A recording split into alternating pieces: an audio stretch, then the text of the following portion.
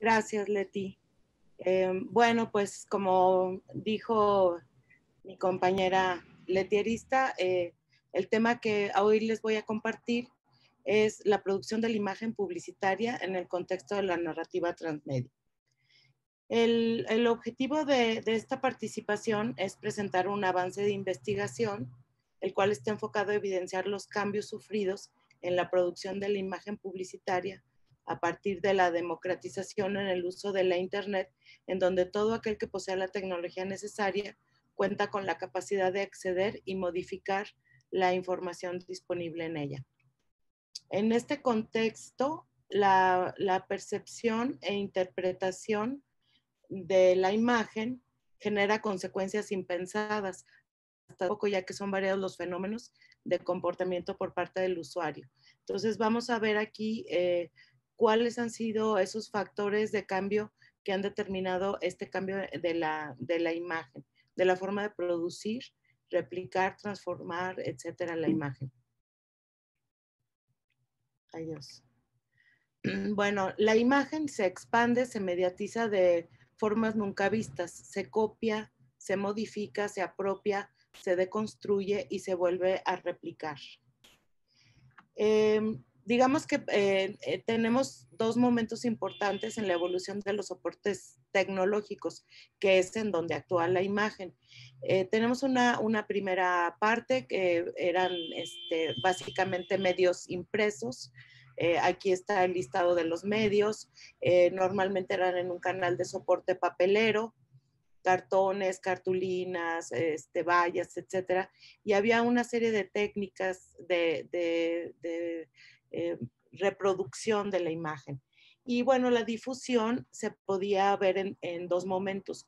Una parte que era efímera, que era solo cumplir el objetivo de comunicación en un periodo determinado, y los permanentes, ¿no? Como libros o algunos manuales o algunos medios efímeros que se convertían en permanentes ya que contenían un cierto valor estético o artístico. Al momento de la revolución industrial, bueno, pues cambia y estos medios eh, se convierten en medios digitales, ¿no? Entonces aquí tenemos el listado de, todos los medios que han este, sufrido esos cambios. Eh, eh, podemos mencionar desde anuncios de publicidad en redes sociales, redes audiovisuales como Vimeo, YouTube, los podcasts, las ventas en línea, los sistemas de comunicación como el WhatsApp, en, en canales que son dispositivos digitales primordialmente, y las técnicas son todos los recursos audiovisuales y uso de múltiples plataformas para su difusión, lo que ocasiona que estos medios digitales en su mayoría eh, se conviertan en, efímeros, ¿no? En realidad, pues sí, sí este, sufren más este, esta transformación.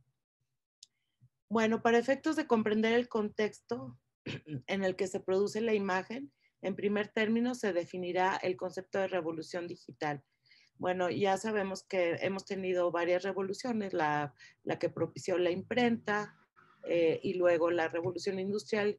Ahora estamos presenciando la revolución digital, que se caracteriza por el uso de dispositivos tecnológicos que van desde el manejo de datos de toda clase por medio de complejos algoritmos hasta la utilización de las llamadas nuevas tecnologías. Francisco Pérez Latre eh, menciona cuatro dimensiones eh, en las que se ve inscrita la revolución digital. El poder manifiesto de las grandes empresas en la red, o sea, tenemos este, grandes consorcios de ventas, como por ejemplo Amazon, o tenemos eh, contenido, distribución de contenido en streaming como Netflix. Y son consorcios que, han absorbido a, muchos medios pequeños la relación entre redes y comunidad, o sea, de nadie es desconocido el impacto que causan las redes en la comunidad y cómo ha propiciado un cambio en las estructuras sociales. La soledad acompañada, que es esta que estamos viviendo ahorita y que antes se daba eh, de manera, digamos, eh, en menor proporción, porque bueno, este, la gente estaba libre de salir a donde, donde quisiera, pero ahora que se han convertido estos medios en, un acompañamiento, sí, eh, tenemos comunicación solamente por medio de plataformas digitales. y el, el valor de la, de la identidad, cómo me identifico yo con el contenido que estoy viendo. Eh, la comunicación transmedia, por su parte, se refiere a la creación de narrativas adyacentes a la publicación original. Esto es, hay una historia principal, ¿sí? Y después se empieza a bifurcar en diferentes canales de comunicación. Entonces, por ejemplo, podemos tener un libro como principal eh, medio oficial o medio dentro del canon y después ese libro se convierte en un cómic, en un anuncio, en una película, en un videojuego, en contenidos para este, blogs, posts en, redes sociales. Y, bueno, toda la complejidad que esto implica eh, incluye también las series de televisión o, las películas incluso. Henry Jenkins, que fue el que propuso esto de la comunicación transmedia, propone que los canales o formatos por los cuales se comunica el mensaje, que pueden ser blogs, apps, audios, cómics, libros digitales, eventos relacionados, como pueden ser los relacionados con el estreno del producto, códigos QR, juegos, videos y contenido intencional generado por la empresa productora o bien por los fans del producto, que eso es, una consecuencia de, de una primera historia principal. La publicidad transmedia, por su parte, se entiende por un documento publicitario, ya sea papelero o digital, eh, que, en el que contiene en su haber información dedicada a difundir, propagar, persuadir, convencer, informar, identificar y orientar sobre las cualidades o beneficios de un bien o servicio útil a un receptor específico. Esta, esta definición, bueno, pues obviamente la, la sabemos en, en términos de publicidad.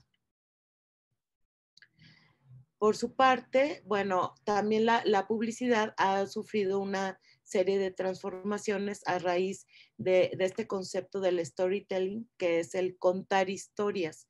¿sí? La publicidad ahora se construye a partir de, una historia oficial o canónica.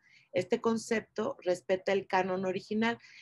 En, ese sentido me refiero a que una empresa institucional eh, puede ser un, grupo comercial, una empresa, etcétera, junto con su agencia publicitaria, establecen los cánones, derechos de autor y, todos estos trámites para eh, resguardar la, este, la autoría de, estas historias. ¿sí? Sin embargo, eh, tiene también el, producto que, que, transgredir estas normas a partir de, los personajes que en ella, en ella están, porque lo que sucede es que las personas se empiezan a apropiar de estas historias, ¿sí? Lo que conlleva una construcción de mundos posibles, ¿sí? O nuevos imaginarios por los cuales desplazarse, que son este, estas, eh, digamos, eh, publicidad que, o, historias más bien,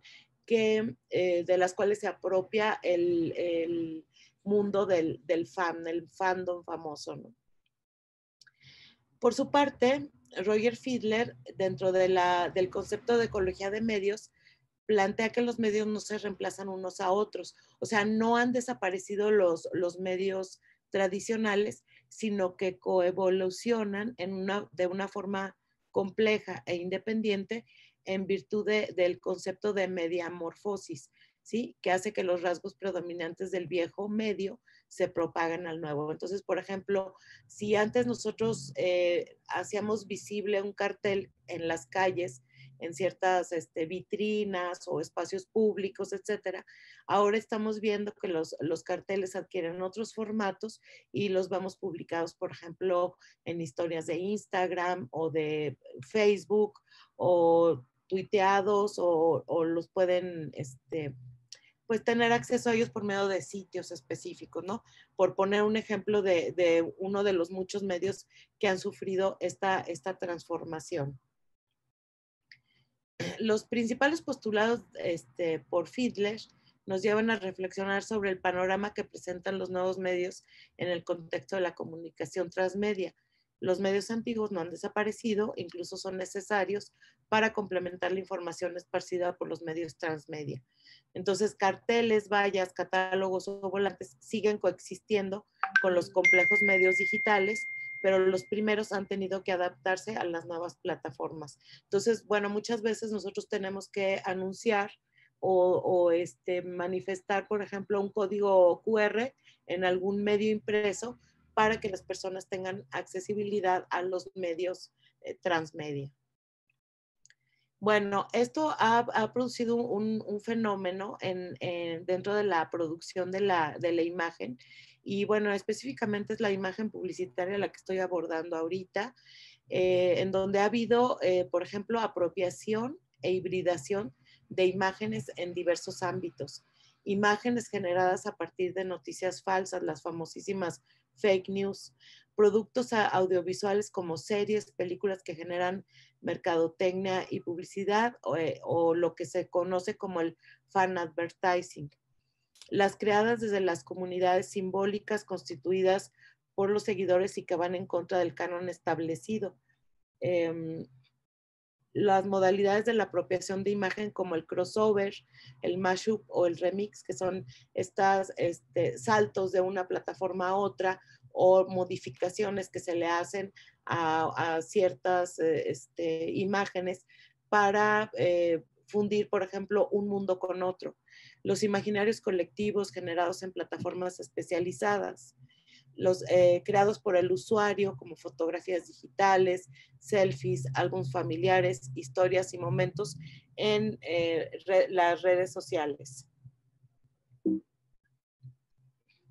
Bueno, en el caso de la publicidad transmedia, el flujo de información, apropiación, transformación y retroalimentación realizada por una institución y las comunidades simbólicas o comunidades convergentes, como se les conoce, se dan de la siguiente manera. Primero hay una institución que publica una película o un libro y esta institución sigue un canon. El usuario acepta, este, acepta este, este contenido identifica la historia, personajes, características generales del producto, se apropia de ese mundo por diversos medios, forma comunidades, intercambia opiniones, genera nuevos contenidos. En general, estos contenidos ya fuera del, canon establecido, luego eh, la propagación de estos contenidos en diversas plataformas participando incluso la misma institución, porque la institución está vigilante de, todo lo que está sucediendo y muchas veces los fenómenos que se presentan, bueno, pues son, son, son importantes y los, este, los adaptan. Y finalmente, la retroalimentación recibida por la comunidad de institución. Esto hace que, se, repita el, el ciclo. Hay una fidelización y compromiso por parte de, las, eh, de las comunidades convergentes. Este tipo de, narraciones favorece nuevas formas de comunicación a través de la creación, la expansión y la distribución del contenido. También propicia la fidelización y el compromiso con el resto de miembros de la comunidad interesada en el tema. Todos los sistemas posibles de percepción del usuario y capacidad de participación del mismo en esta clase de plataformas se mantienen a disposición del consumidor, ya sea como, como, consumidor pasivo, el, el, que solo ve y escucha, como en la construcción y puesta en común de los contenidos. Por ejemplo, se hacen listas de música, producción de historias en redes sociales, publicación de opiniones en sitios con contenido específico, plataformas construidas ex profeso. Finalmente, como una reflexión preliminar, eh, la imagen se, produce, se reproduce y se replica tomando en cuenta los siguientes puntos. El creador de la imagen publicitaria genera la imagen a partir de cánones. La imagen se publica en diversos medios, los cuales pueden ser soportes físicos o papeleros o soportes digitales. El receptor recibe la imagen y aplica su bagaje cultural para asimilarla. En este punto se produce el fenómeno de la apropiación de la imagen y de acuerdo con su criterio modifica esa imagen generando nuevos productos de comunicación como los que les mencioné. La nueva producción de la imagen requiere necesariamente la, de la deconstrucción de la imagen original y esta deconstrucción puede ser llevada a cabo en fases derivadas de la imagen original o bien totalmente transformada, siempre llevando un referente de la imagen original. Y la imagen se replica en una gran variedad de plataformas, siendo las principales las redes sociales o los sitios creados para este fin.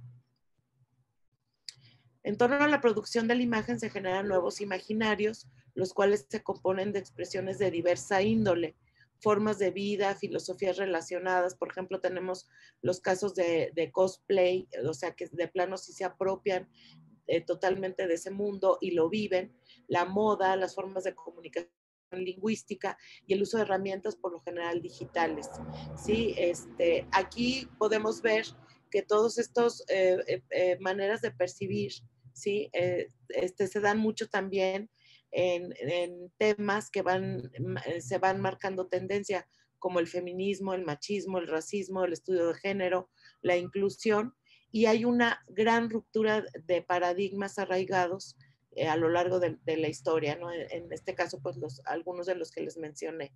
La producción de una imagen siempre irá vinculada al comportamiento y nuevos usos y costumbres de la sociedad en donde se produce. Muchas gracias.